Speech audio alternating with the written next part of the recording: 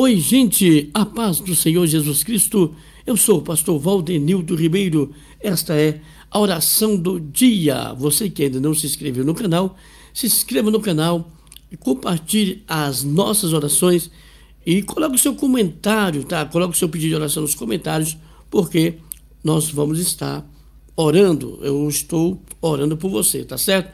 Todos os dias eu é, entro nos comentários dos vídeos para ver se tem pedido de oração e quando eu encontro os pedidos, ali eu oro apresentando a Deus. Gente, nós vamos meditar em dois versículos da palavra de Deus para a gente orar, para a gente entrar na presença do nosso Deus em oração. Porque oração é a chave da vitória. Quem ora tem vitória. E Deus ele tem grandes coisas a fazer em sua vida, tá certo? Meus amados, nós vamos meditar no livro de Romanos, capítulo 12, o versículo 9, versículo 9 e o versículo 10. Diz o seguinte: O amor seja sem hipocrisia, o amor seja sem hipocrisia. Detestai o mal, apegando-vos ao bem. Amai-vos cordialmente uns aos outros, com amor fraternal preferindo-vos em honra uns aos outros. Meus queridos, meus amados, nós vamos estar falando um pouquinho do amor. É importante a gente amar ao próximo.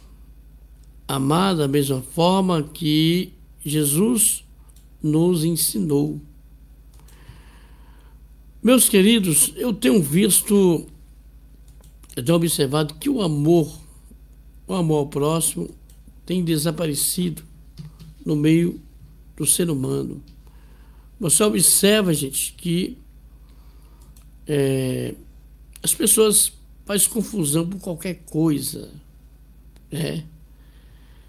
E é, as pessoas matam, se destroem, né? Não é fácil.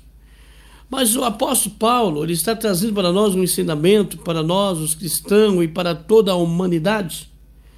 Ele diz que o amor não pode ser um amor hipócrita. O amor é sem hipocrisia, ou seja, o amor tem que ser de verdade. E nós temos que detestar o mal e apegar o bem, ou seja, nós temos que odiar o pecado, o mal, aquele que não presta. Nós temos que descartar das nossas vidas. Né? o mal, é, o ódio, né? Tudo aquilo que não presta. Ele diz: Amai-vos cordialmente uns aos outros com amor fraternal, preferindo-vos em honra uns aos outros. Ou seja, nós temos que honrar o nosso próximo. Nós temos que honrar os nossos irmãos. Não podemos desprezar. Hoje, é, no meio cristão, às vezes é um contra o outro, é um detestando o outro, é um é, bate nas costas, estou com você, olha, você é meu irmãozão, você é minha irmã de valor, mas quando dá as costas, mete a língua, fala mal, apedreja, né? Isso é hipocrisia, são pessoas que vivem de aparência. Quantas pessoas agem assim conosco? Eu já perdi as contas né, de pessoas que já agiu comigo dessa forma. Mas essas coisas nunca me abalou. Amados, Paulo está ensinando que o amor é sem hipocrisia, ou seja, o amor seja, o amor não seja fingido. O amor tem que ser verdadeiro. O amor tem que ser verdadeiro, tá? O amor não pode ser o amor é, falso, o amor fingido, tem que ser o amor verdadeiro. Amai-vos cordialmente uns aos outros com amor fraternal, preferindo-vos em honra uns aos outros. É um amor sincero, né, gente? O amor seja não fingido. Paulo está enfatizando que o amor deve ser genuíno e sincero, sem hipocrisia. Não deve ser apenas uma fachada ou algo superficial. Quantos amor de fachada, né? Quantas pessoas que a gente pensa que ama a gente de verdade mas por trás só falta nos destruir. São pessoas que nunca conheceram realmente Jesus. Não é verdade? Nós temos que rejeitar o mal. Rejeição do mal e apego ao bem, e aborrecer o mal, apegar-vos ao bem. Os cristãos são chamados a odiar o mal e se apegar firmemente ao que é bom. Isso envolve uma rejeição ativa de tudo o que é moralmente errado ou é, ou seja, é uma dedicação ao que é normalmente correto. Então a gente vai procurar andar pelo certo do que andar pelo errado. Fazer o bem, amar, perdoar, não é? O amor fraternal, amados, é algo maravilhoso. Amai-vos cordialmente uns aos outros com amor fraternal. Paulo incentiva os cristãos a se amarem como irmãos, com um amor profundo, efetuoso. Esse amor deve ser caracterizado por uma, por uma afeição genuína e um cuidado mútuo. Cuidado do irmão, cuidado do próximo, tá? Nós temos que honrar, preferindo-vos em honra uns aos outros. Aqui Paulo está dizendo que devemos honrar uns aos outros, colocando as necessidades e o bem-estar dos outros acima dos nossos próprios. Isso significa, meus amados, mostrar respeito e consideração para os outros, reconhecendo o seu valor e dignidade. Esses versículos destacam a importância de um amor verdadeiro e sincero.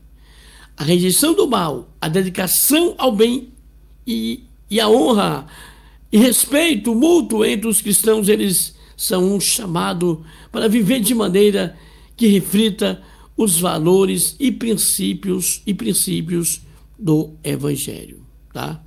Guarde essa palavra no seu coração e vamos praticar a palavra de Deus. Vamos orar neste momento eu quero convidar você para o momento da oração. Senhor Deus, eu quero te louvar, eu quero agradecer ao Senhor, Pai, porque tu é bom. Eu te louvo, eu te agradeço por essa palavra. Senhor, perdoa os meus pecados, perdoa minhas falhas. Nesse momento, Deus, eu quero orar por todas as pessoas que estão orando comigo agora. Há uma multidão de pessoas orando, meu Deus, buscando a tua face. Ó Deus querido, ó Pai, Abençoa, meu Deus, as pessoas que, que estão trabalhando e ouvindo essa oração. Abençoa as pessoas que estão em casa e ouvindo essa oração. Abençoa as pessoas que estão de joelhos, as pessoas que estão orando, os irmãos que estão buscando ao Senhor nesse momento de oração, meu Pai, a oração do dia. Ó Deus, abençoa todas as áreas da vida, meu Deus, de cada pessoa que está orando conosco, Pai.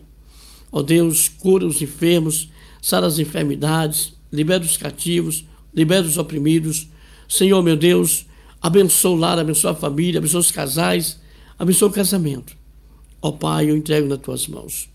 Abençoa, meu Deus querido, ó Pai, cada pessoa, Pai, que necessita de uma vitória, de uma bênção, de um socorro. Abre a porta de emprego, Deus, para as pessoas que estão desempregadas. Ó Deus, venha socorrer, meu Pai, é, cada pessoa que está chorando, clamando, pedindo socorro. E a palavra diz que o choro pode durar uma noite, mas a alegria vem pela manhã. Alegra os corações tristes, ó Deus. Ó Pai, arranca essa dor da alma, arranca essa angústia, arranca esse sofrimento que está no coração dessa pessoa. Pai amado, tem pessoas que não conseguem perdoar. Ajuda essa pessoa a perdoar. Ó Deus, tem pessoas que não liberam o perdão. Ajuda essa pessoa a liberar o perdão, Senhor. Ó Pai, a tua palavra ensina que nós temos que amar até mesmo aqueles que nos perseguem. Ajuda, meu Pai, cada pessoa a vencer essa dificuldade. Ó Deus querido, abençoa aqueles que nos perseguem, abençoa aqueles que têm de nós, abençoa aqueles, ó Pai, que bate no nosso ombro. Ó Deus, aquele que nos abraça, ó Deus, nos dá carinho, mas por trás, ó Pai, é, nos fere, vem contra nós. Ó Pai amado, são pessoas que nos apunhalam pelas costas. Abençoa essas pessoas. Nós colocamos nas tuas mãos. Nós pedimos a benção por essas pessoas também. Oramos por todas as pessoas, ó Pai, que está pedindo perdão agora. Pessoas que erraram, irmãos que errou, que pecou, que saiu da direção. Ajuda, meu Pai, tua filha e teu filho a se acertar, a voltar para o Senhor, a rejeitar o pecado, a renunciar ao pecado. Ajuda, meu Deus, em nome de Jesus. Que o Senhor possa, meu Pai, fortalecer os fracos animo desanimados. Fortalece, Senhor, essa mulher, esse homem que está sem força de orar, que está sem força de buscar, que está sem força de ler a Bíblia. Fortalece, renova, meu Deus, a fé da tua filha e do teu filho. Abençoa todas as pessoas que oram comigo, Pai, independente da religião. Ó Pai, confirma a bênção, a vitória, o livramento, a salvação, a libertação. Abençoa, Pai. Essa é a minha oração. É em nome de Jesus que eu te peço. Amém e amém, Senhor Jesus. Gente, Deus abençoe. Eu sou o pastor Valdenilton Ribeiro. Estou orando por você. Se inscreva no canal, compartilhe as nossas orações, tá? É, dá o seu like. Deus abençoe. Eu volto amanhã, eu volto amanhã com a oração do dia. Deus abençoe. Um abraço. Fique com Deus.